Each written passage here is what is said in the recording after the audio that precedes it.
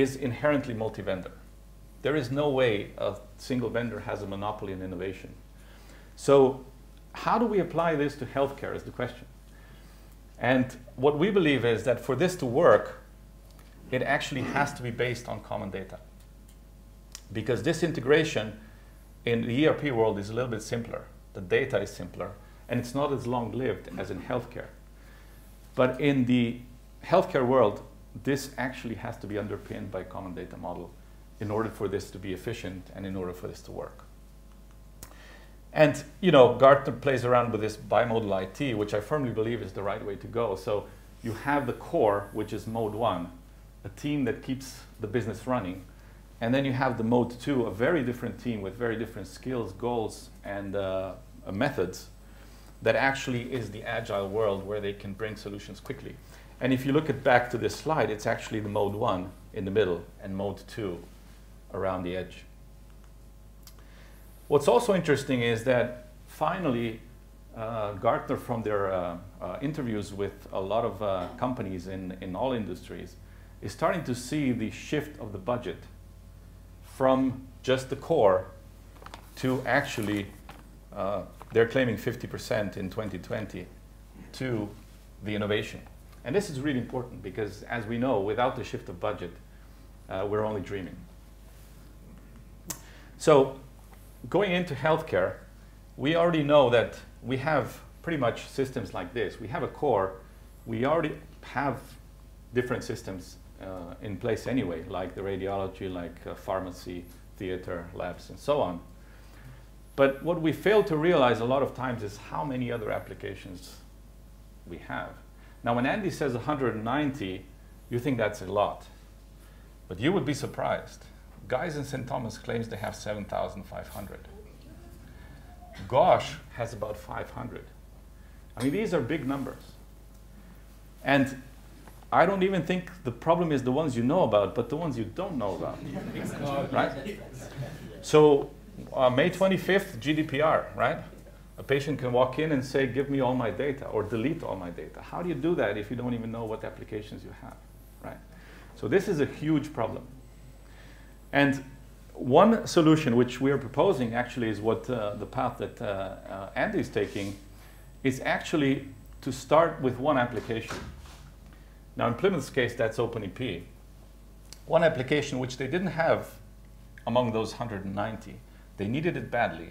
They chose a solution, but at the same time they set the stage for the uh, integrated care record, uh, as Andy mentioned in the previous presentation. Now, of course, the idea is then that you could, with time, move the other applications over. Now, by move, I don't mean you can just move. You actually have to probably rewrite a lot of them, hopefully in new technology. And our mission is to build tools to make this as easy as possible and as quick as possible. And hopefully, by building this type of an ecosystem, we hope that the industry will engage and provide these solutions especially now that we have real customers wanting to pay money for these solutions, which was not the case four or five years ago. Okay, so this is what we call the postmodern EHR. Again, it's a bimodal world. We have a core that needs to keep running, at least for the foreseeable future. But we try to move the data, the health data, clinical data, over to an open system and then build the new applications uh, on top of this and hopefully uh, with time being able to acquire the new solutions that already comply with this architecture. Now, at the GUI level, of course, what uh, CAIR is doing is actually joining the two for the user so that actually the user experience is, uh, is, is one. But at the data level, I think this type of architecture will be there for, for a while. Now, this brings us to health data, right? And I said before, most applications, and this is true in all industries, keep data in proprietary formats. It's a business model issue. It's not, many times, it's not even technical. They know that it would be better to use the accepted data models or even the shared data models. But their business depends on locking the customer in. Okay? So again, it's true in all industries. The, the trouble we have in healthcare is that we really want to have this data for a very long time ideally for the lifetime of the patient. That's 100 years. So what we end up doing is we end up migrating from one proprietary format to another every time we switch applications because no application will last 100 years.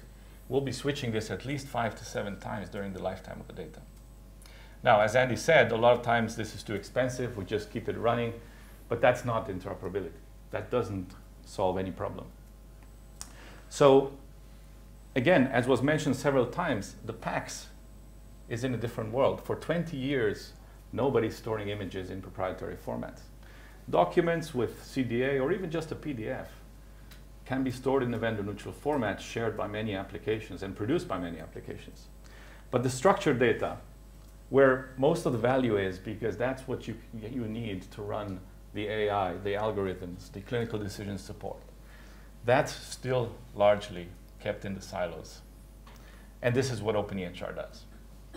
Just like the images and the documents, it takes the structured data out of applications and makes sure it's available to many applications from different vendors.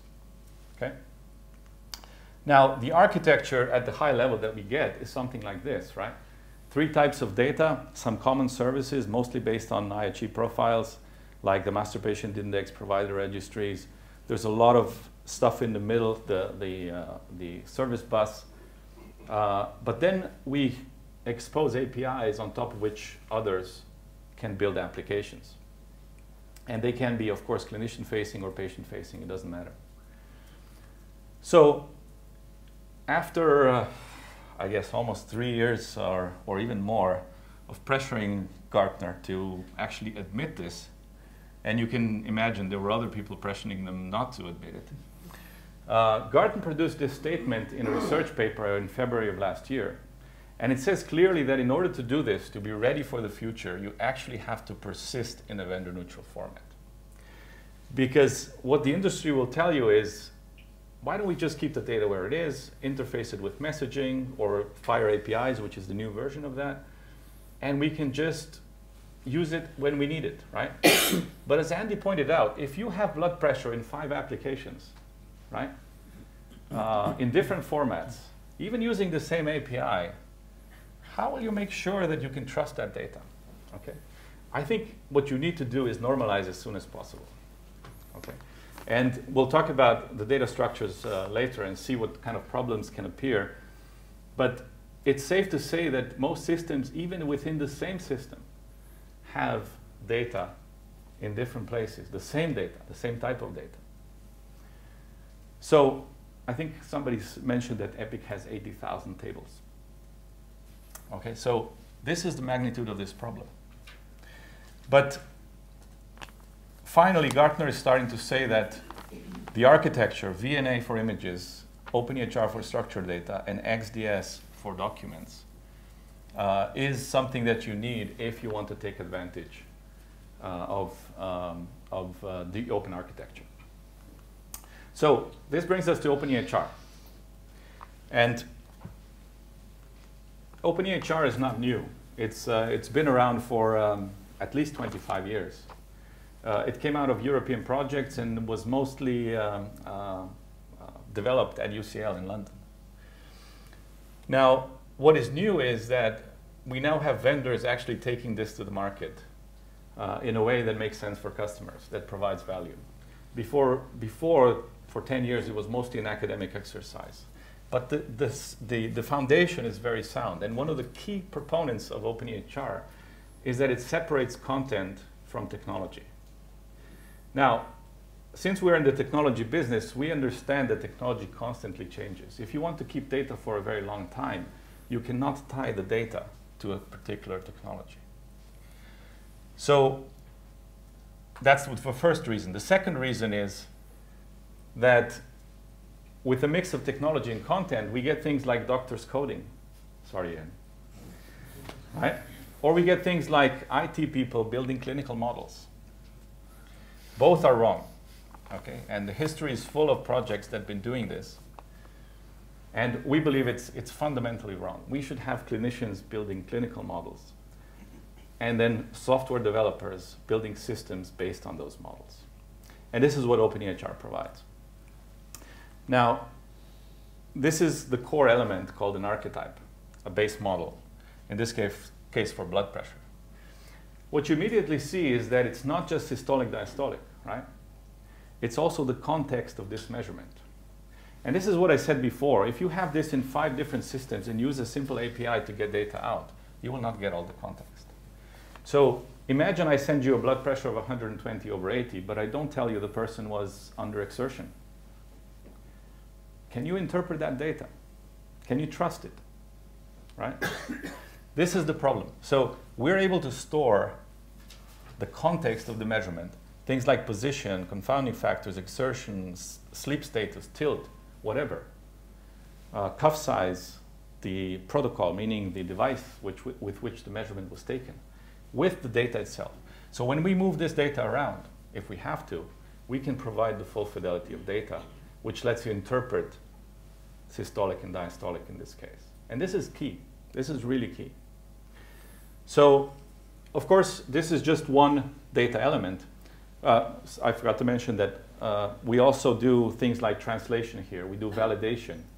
We say that um, uh, systolic is, has a SNOMED code of this and this, or that uh, uh, it has a range of values. Uh, and this, again, is important. We do this at the model level before writing a single line of code, which actually means that however I use this archetype, I will never be able to store data out of range because the systems that implement this will not allow it. And I don't have to centrally manage this, I have to manage the models, but the use can be widespread by different vendors, different technologies, different programming languages, but the rules will be enforced when the data is about to be stored. Uh, for international use, of course, we also do translations at this level. Uh, Norway has done a really good job of making models available for the whole country.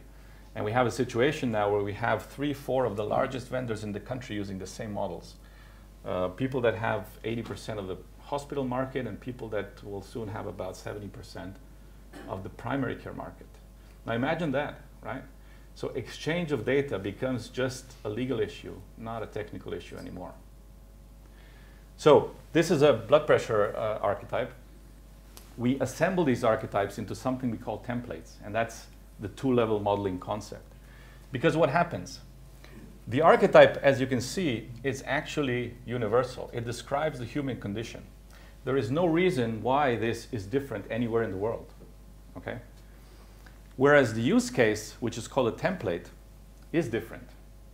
So we assemble the archetypes and add another layer called the template where we can customize for the use case while still storing data in the original archetype format, the universal format.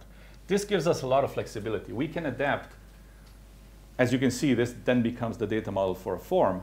We can adapt to the different use case like a GP visit, cardiologist encounter. They will want different detail, but the data will always be stored the same way. Okay? So what we get with OpenEHR is that all the layers of the software understand data the same way. Now think about classical applications. That's not the case. We have a relational data model. Then we have an object data model at the server level. Then we have an object um, presentation layer data model. All of them are different. If we're lucky, we get the same validation. But we have to reformat this data every time, every tier of the software. So this does away with that. All the validation, all the translations are pushed all the way to the GUI if you do your software correctly. And you can actually trust that all the layers understand data the same way.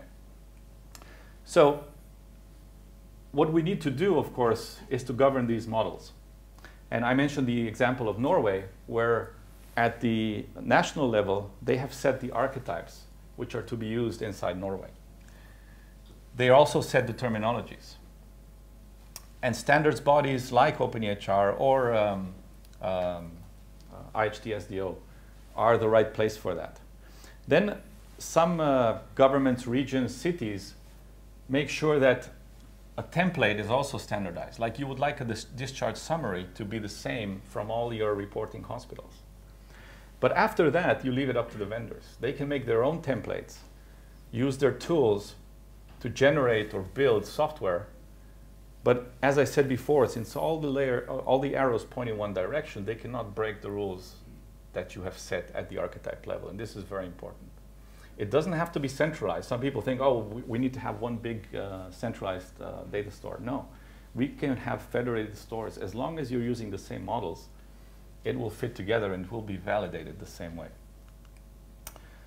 So this is another quote by Gartner, uh, talking to CIOs about uh, the fact that it's time to take a look at this technology. But I'd like to um, end with um, with some use cases and show you some examples through the use cases because I think that's the most important part of today. So we have um, quite a lot of presence around the world with the notable exception of the, um, the US. Uh, I mean, there's probably some stuff going on, but not that we know of. Uh, but a lot of the emerging markets have adapted this, adopted this technology because for them it's a no-brainer. They don't have a lot of legacy. Uh, they're usually centrally funded, so prescribing the way to do this is actually the easiest uh, solution. Uh, and we now have a lot of companies in this space as well. A lot of uh, uh, quite large companies like Medtronic, CGI was mentioned, um, University Hospital. I'll talk about um, the Brazil National Insurance and so on, cities. So we can break the use cases into these five categories. Now, you realize that health data, clinical data is everywhere in healthcare, right? It's in research, it's in registries, it's in EHRs, it's in uh, shared care records, uh, ecosystems, and so on. So we've broken it up into these, uh, these uh, five boxes, and we have, I'll show you examples of each one. So the first one is somebody goes out and builds an EHR, right? And this is the example uh, that uh, we have in Slovenia, where we have actually built an EHR for a children's a pediatric hospital with about 220 beds. Uh, and actually, this is the, the origin of, um, of uh, OpenEP as well, because that's where we first introduced uh, meds management in a closed loop system, enabling this hospital to achieve EMRAM stage 6, which is the requirement. closed loop medication is a requirement for that. Uh, we use this to prove that it actually can be done and that all clinical data can be stored uh, in the OpenEHR methodology. Uh, and um, it was a journey. Um, and of course, today, what they can do is things like uh, what Andy mentioned, which with one single data source, it's much easier for them, them to do clinical decision support because they can trust the data being consistent, uh, uh, being all in one place for the single patient. Uh, we have other examples like um, Ayala Health, uh, it's a big conglomerate in the Philippines, which is running about 200 clinics, have built their own light EHR on top of the platform, run it on Amazon Cloud, uh, and are introducing affordable care to the Philippines, um, uh, expanding to 500 primary care centers, which they're also building. It's, it's a really interesting uh, project for the last three years. Um, I mentioned Norway. Uh, Patient Sky is a provider of primary care solutions in, uh, in Norway. Uh, they've been building for the last two years a platform, cloud-based platform for uh, primary care physicians, uh, which is really exciting. They will be launching in other markets end of this year, uh, probably Sweden and Denmark first, but they also want to come to the UK. Um, I don't have to talk about this one. But uh, I talked about uh, the example of OpenEP being that one application which starts to put the right infrastructure in place. Um, CDR for government. So by government, it can be a city, it can be a region. Uh, we had um, a project five years ago which we were running for our national health uh, uh, ministry, which actually said, let's connect all healthcare institutions. And Slovenia is about 2 million people with, uh, I think we have 30 hospitals and about 90 primary care centers and about um, 2,000 GPs. So what we did was we connected everything using IHE and document exchange. And we did this because we could do this really quickly. In six months, we connected the whole country. Uh, but then what happened was and I, am telling this because I see a lot of uh, the cities here trying to do this.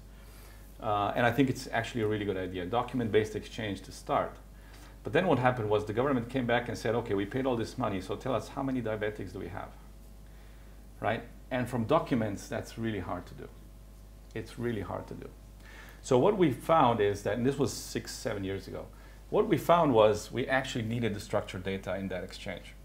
So what we started doing was attaching archetypes, basically, to the documents, discharge summaries, ambulatory notes, uh, prescriptions that were coming out of the system. So now we have this architecture that you saw on the, on the, on the previous slides, where we have separate repository for images for the country, separate repository for documents based on XDS, IHE, and a separate repository for structured data based on OpenEHR. And after that, solutions like clinical registries or um, uh, the e-referral system or immunization registry, for instance, were really easy because the data was already there.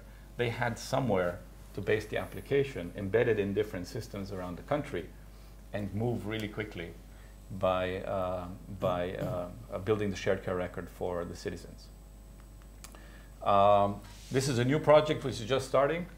Uh, Brazil, about five years ago, decided on OpenEHR and due to their procurement, it's taken forever. um, not unlike the NHS, actually.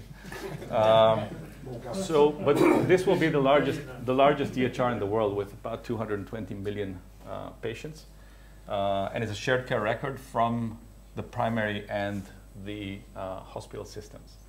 And uh, they want to do use this to um, to influence policy, to uh, help with uh, things like um, outbreak reporting. You know, they had the Zika problem with maternity numbers, um, infant mortality, things like this at the national level.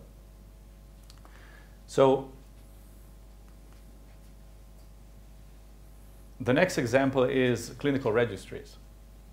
And uh, one of the key customers here is Eurotransplant, which is covering the um, exchange of organs between uh, 12 European countries, uh, matching donors and recipients. Uh, and the problem they had was quite interesting. They, they do this for five organ groups, but they had five different applications. So now a patient comes in that needs two transplants, and they had a really hard time matching this. So they've re-architected. They now have a single store, but they still have different applications on top. Okay, so that's the idea. And we're now expanding this into um, remote monitoring of uh, heart transplant, one of the, uh, the uh, transplantations that they do, uh, with an application that's going to be used at the sites. And it's about 150 hospitals across Europe uh, that are part of the Eurotransplant heart uh, transplant program, where the doctors will be able to order what the patient has to do at home, and then the patient will use a home device uh, with, uh, with uh, um, monitoring of um, even the ECG or the, the, simple stuff like body weight, temperature, do some basic tests like the six minute walk and so on, and real time report back to the clinicians so that the clinicians in these monitoring centers will actually have a way of figuring out what's going on. Now, we chose this uh, use case because the transplant patients are really serious patients, so they will be doing this for sure. Okay. Uh, sometimes the problem you have with, with these scenarios is that the patients don't comply and then you have a lot of issues. But here we expect to get a lot of uh, uh, data uh, from this. And of course, it will be in the same format that Eurotransplant uses in the registries, so it will be very easy to report uh, the outcomes after one, five, and, uh, and 10 years. Um, clinical research, you're not going to talk about this? Okay, so uh, Genomics England, um, I guess about three, four years ago, started thinking about the problem that they had because people were just sending them data to report the phenotypes uh, for the 100,000 Genomes project. And Genomics England had to normalize it, right? So it's now reversed where these genomic medical centers, GMCs, are normalizing data from trusts, putting it in the same format, uh, and then sending it off. So this creates a lot of opportunity for these hospitals to share this data, not just with Genomics England, but among themselves.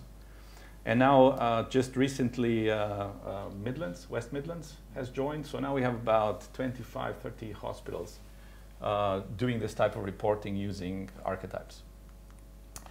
Um, and the last one is uh, a really interesting project in Germany uh, called HiGHmed, which is trying to build a platform architecture to collaborate at the data level, the research between the big German hospitals.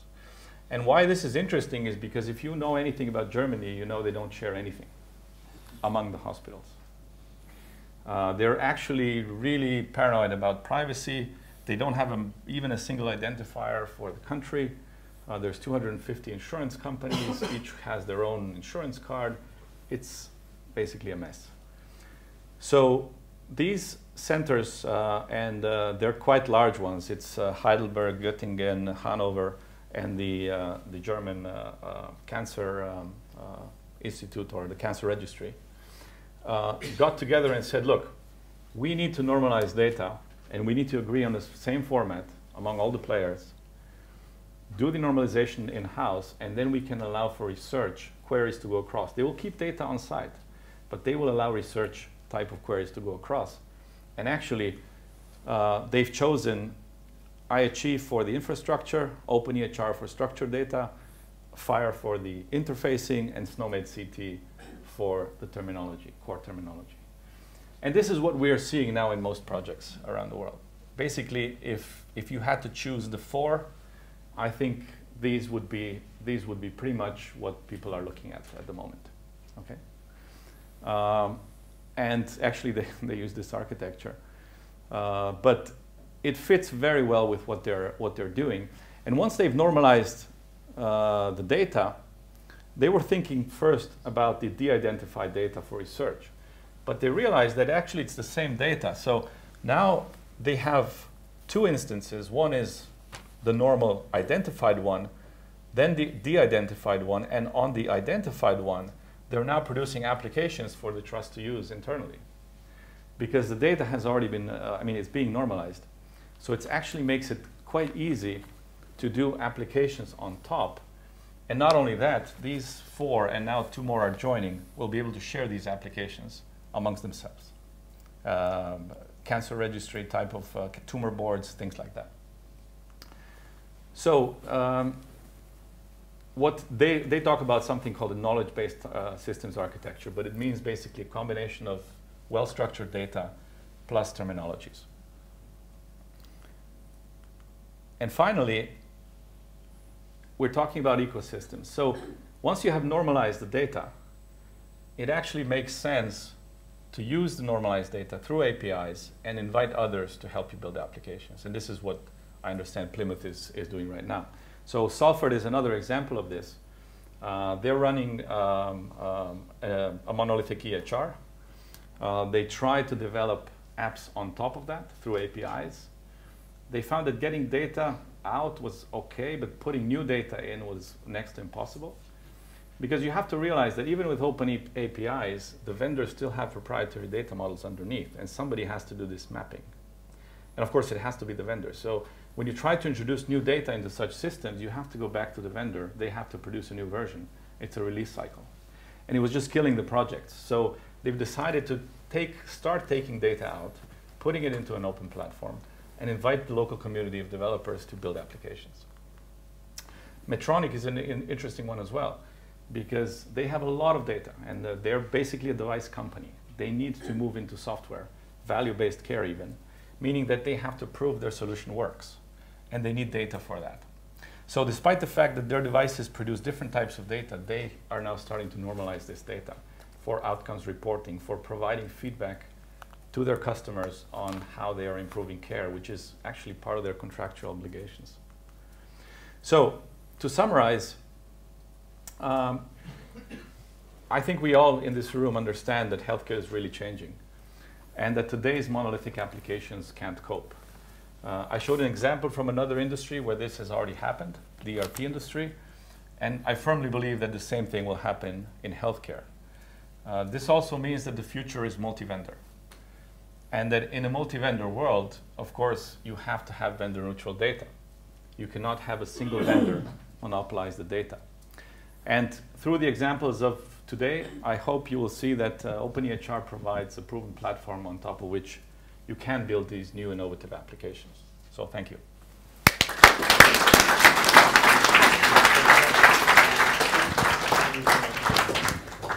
Thank you, Thomas. Um, I've, almost seen this presentation now three, four, five And times. And you learned something new? Absolutely. It's, it's as insightful today as it was the very first time. And the more I see it, the more I, I sit here thinking, isn't this common sense?